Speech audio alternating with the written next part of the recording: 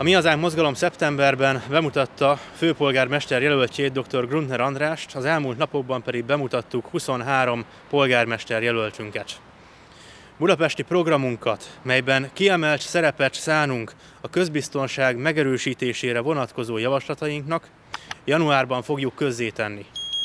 A Mi Hazánk az egyetlen párt, amelyik dupla büntetés szabna ki a politikus bűnözőkre, és követeli a mentelmi jog eltörlését.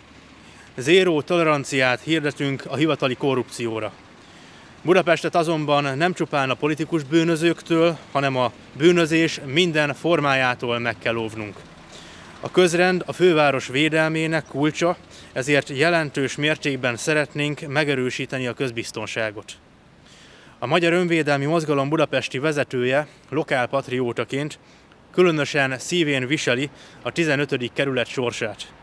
Engedjék meg, hogy bemutassam a Mi Hazánk mozgalom 15. kerületi polgármesterjelöltjét, Bartal Andrást. Köszöntöm én is a sajtó megjelent munkatársait.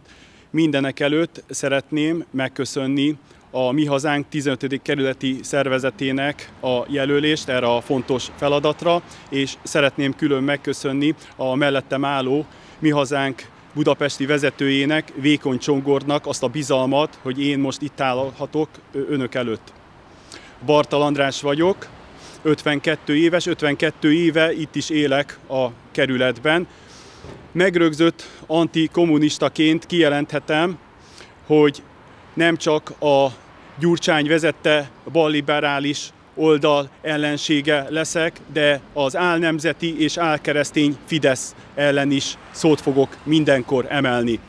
Iskolai végzettségemet tekintve egy munkás családból származom, innentől kezdve a Katona József iskola ipari iskolájában végeztem, ahol gépi forgácsolóként, majd később le is érettségiztem.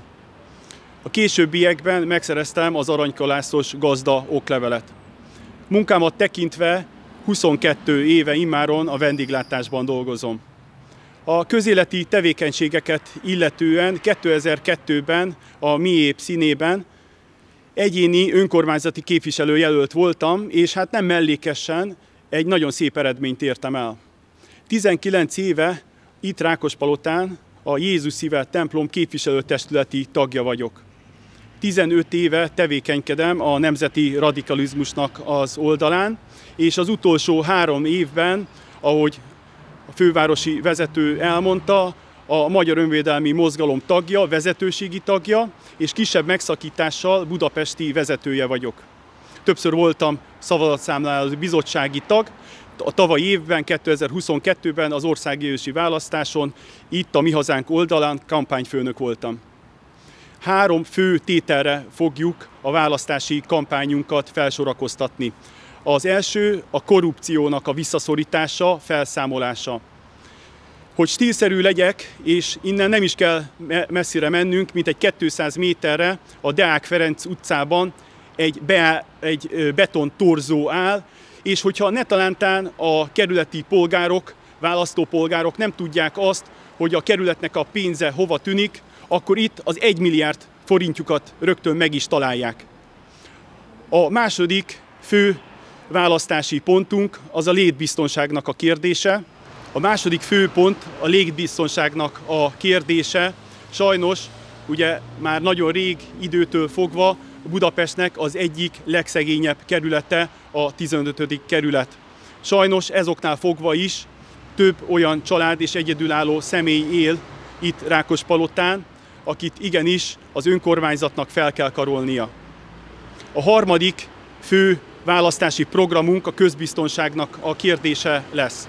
Itt elhangzott már az, hogy én születésemnél fogva itt élek ebben a kerületben. Pontosan tudom azt, hogy évtizedeken keresztül milyen tendenciák mutatkoztak a közbiztonság területén. De ki kell hangsúlyozni azt, hogy az utóbbi egy-két évben igenis nagyon leromlott a közbiztonság. Ez többek között annak köszönhető, hogy fővárosi utasításra különböző kerületekből, gettókból az ott be nem illeszkedni tudó társadalmi rétegeket különböző kerületekbe, többek között ide a 15. kerületben is ö, beköltöztették. Ez polgármestersége megválasztása esetén elképzelhetetlen lesz. December 20-a van, két napra vagyunk a napfordulóhoz, és négy napra vagyunk kis Jézus megszületéséhez. Reménység tölti el szívünket, és nagy reményekkel vagyunk a jövőt illetően, nem csak az országban, a fővárosban, de itt Rákospalotán is. Szeretnénk azt, hogy eljöjjön végre itt is a szebb jövő, mert senki ne felejtse el, hogy miénk a jövő, mert ez a mi hazánk.